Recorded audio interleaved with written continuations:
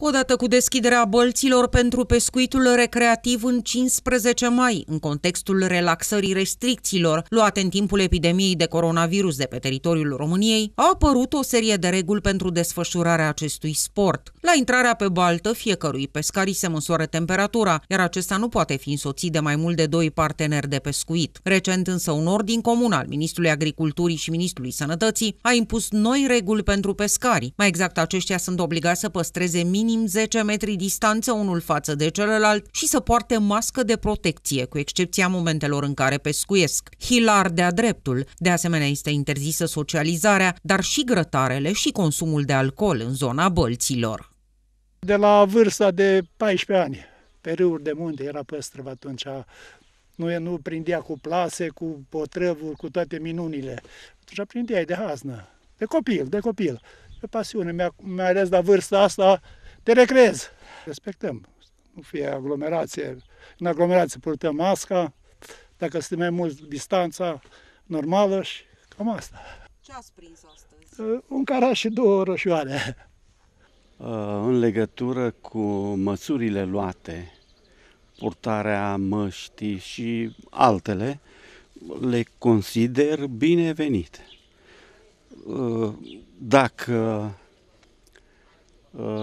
trebuie să contribuim și noi alături de cadrele medicale, de celelalte instituții ale statului, pentru, să zic așa, uh, nu eliminarea totală a acestui virus, uh, dar la încetinirea propagării lui, dar răspândirii lui, trebuie să respectăm uh, Unde indicații.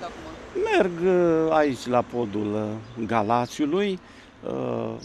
Câteva luni de zile am tot stat în casă, fiind pensionar. Chiar dacă apa e puțin mai mare sau tulbure, mă mai deconectez. Și proprietarii de bălți trebuie să respecte o serie de reguli. Aceștia sunt obligați să pună la dispoziția pescarilor măști de protecție și substanțe dezinfectante. Ordinul comun a fost publicat în monitorul oficial și a intrat imediat în vigoare. Gabriel Vâju este managerul flag păstrăvarii țării Făgărașului, pescar împătimit. Știm cu toții că, începând de la 1 iunie, pescuitul recreativ, sportiv, este liber la toate speciile de pește care trăiesc în apele României. În condițiile în care am văzut și eu um, noile reglementări, ce ar trebui să facă un pescar, um, eu consider că sunt foarte bune, unele dintre ele, iar unele ar trebui să vină să ni se facă explicitări. De exemplu, dacă pe bălțile particulare. Un pescar trebuie să fie testat, cum prevede ordonanța, trebuie să socializeze măsuri de distanțare, nu trebuie să facă barbecue, nu trebuie să consume băuturi alcoolice. La alte locuri de pescuit, cum ar fi, de exemplu, râul Olt, nu știu cine ar putea să ia temperatura unui pescar care are un loc al lui specific.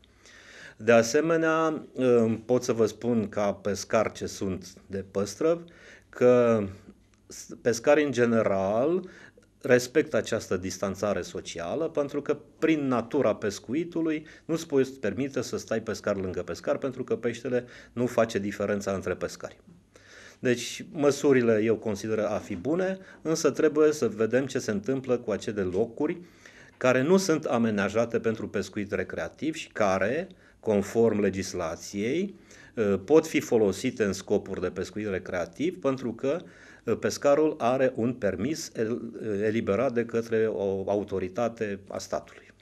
Un lucru e cert. S-a stabilit că este interzis consumul de băuturi alcoolice și nu mai e liber la grătare pe malul apei, iar în locurile amenajate special pe același stand de pescuit e nevoie de distanța reglementară, adică 10 metri între pescari. Aceștia nu au voie să socializeze între ei. Pontoanele vor fi dezinfectate de administratorii. Pescarii sunt obligați de asemenea să poarte masca până la locul de pescuit.